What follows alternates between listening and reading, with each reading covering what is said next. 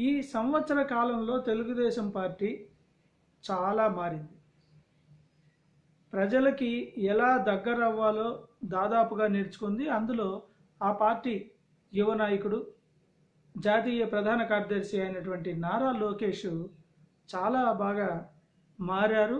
ఆయన ఆయనలో ఒక ఉద్యమ స్ఫూర్తి పోరాట పటిమ అలాగే కార్యకర్తలకు ఒక భరోసా అండగా ఉండేటువంటి అంశాలు కనిపిస్తున్నాయి.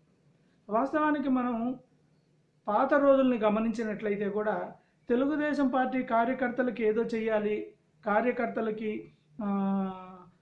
హెల్త్ ఇన్సూరెన్స్ ఇప్పించాలి కార్యకర్తల పిల్లలకి చదువులు చెప్పించాలి అలాగే తెలుగుదేశం పార్టీ కార్యకర్తలకి ఒక ఐడి కార్డు ఇవ్వాలి ఆ ఐడి కార్డు ఉపయోగించుకుంటే ఎక్కడైనా సరే కొన్ని సంస్థల్లో తెలుగుదేశం పార్టీకి చెందినటువంటి కొన్ని సంస్థల్లో అంటే ఆ నాయకులు ఉన్నటువంటి సంస్థల్లో డిస్కౌంట్లు ఇట్లాంటివి ఇప్పించినటువంటి ఘనత హెల్త్ ఇన్సూరెన్సు పర్సనల్ ఇన్సూరెన్స్ కూడా యాడ్ చేసినటువంటి ఘనత కూడా తెలుగుదేశం పార్టీదే. అందులో ప్రధాన పాత్రధారి నారా లోకేష్.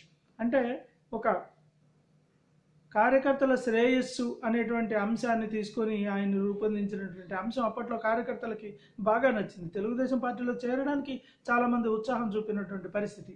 అయితే ఈ కార్యాచరణ వేరు ప్రెస్ మీట్లలో మాట్లాడడం వేరు. ప్రెస్ మీట్లో మాట్లాడలేకపోవడం కొన్ని పదాలు అంటే కొన్ని పదాలు ఏదైతే పాజిటివ్ మీనింగ్లో చెప్పాలనుకుంటారో అది నెగిటివ్ మీనింగ్లోకి వెళ్ళిపోవడం దాన్ని కొంతమంది విమర్శించడం అంతేకాదు ఏదో ఆవేశంలో కొద్దిగా ప్రీమెచ్యూర్డ్గా మాట్లాడడం ఇలాంటివన్నీ కూడా గతంలో ప్రెస్ కాన్ఫరెన్సుల్లో చూసాం.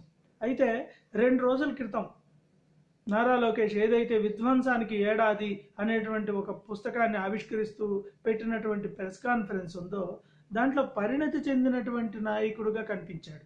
అంతేకాదు తెలుగు మీడియం తప్పనిసరిగా ప్రవేశపెట్టాలి అన్నటువంటి అంశం మీద విలేకరులు అడిగినటువంటి ప్రశ్నకి ఆయన చెప్పిన స- సమాధానం కూడా ఒక రకంగా జనాలను ఆలోచింపలే చేసేలా చేసింది. ఆయన అంటే తెలుగు మీడియం ఎంచుకోవాలా ఇంగ్లీష్ మీడియం ఎంచుకోవాలా అనేది తల్లిదండ్రులకే వదిలేయాలని చెప్తూ నేను చూడండి నేను ఇంగ్లీష్ మీడియంలో చదివాను తెలుగులో మాట్లాడడానికి కొద్దిగా ఇబ్బంది పడ్డ మాట వాస్తవం. అలాగే మన తెలుగు ప్రజలు కూడా ఇబ్బంది పడాల్సినటువంటి పరిస్థితి ఉంటుందా అని ఆయన ప్రశ్నించడం. అంటే ఆయన తన యొక్క లోపాన్ని కూడా తను ఎక్కడైతే ఇబ్బంది పడ్డానో ఆ ఇబ్బందిని కూడా ప్రజలకి చెప్పుకోవడానికి ఆయన ఏమి సంకోచించలేదన్న అంశాన్ని మనం గుర్తించాలి.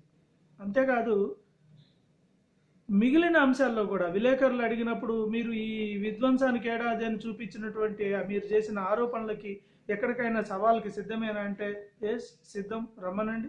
వేదిక టైం మీరే చెప్పండి. నేను వస్తాను. జగన్ రెడ్డి గారు రావాలి. జగన్మోహన్ రెడ్డి గారు రావాలి అని ఆయన ప్రశ్నించినటువంటి ఆయన సవాల్ విసిరినటువంటి తీరు కూడా చాలా పరిణతి చెందిన నాయకుడిగా కనిపించింది. ఆయన శైలి ఆయన ఆహార్యం అక్కడ కూర్చోవడం ప్రతి అంశాన్ని క్షుణ్ణంగా వినడం విలేకరులను పేరు పేరున ప్రస్తావించడం పలకరించడం పైగా ఏ ప్రశ్న అడిగినా దానికి సూక్ష్మంగా సమాధానం చెప్పడం ఆ వాక్య నిర్మాణం అయితేనేమి ఆ చెప్తున్నటువంటి అంశం కూడా చాలా సూక్ష్మంగా అడిగిన ప్రశ్నకి అడిగిన సమాధానం చెప్పినట్టుగా ఆ గెస్చర్స్ కూడా మనం చూసినట్లయితే ఒక రకంగా తెలుగుదేశం పార్టీలో వచ్చిన మార్పుకు తోడు ఆ పార్టీ జాతీయ ప్రధాన కార్యదర్శి యువ నాయకుల్లో కూడా మార్పు వచ్చిందా? కొన్ని చోట్ల తన తండ్రిని అనుకరిస్తూ తల ఊపుతున్నటువంటి అంశం కనిపించింది.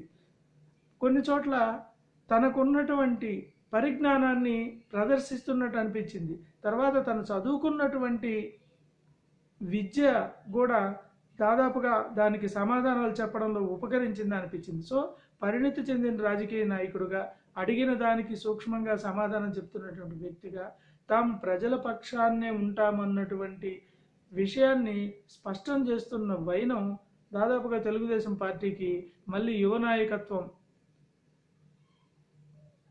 స్ఫూర్తి వస్తోందా అన్నటువంటి అంశాన్ని రేకెత్తించిందని చెప్పాలి. చూస్తూనే ఉండండి.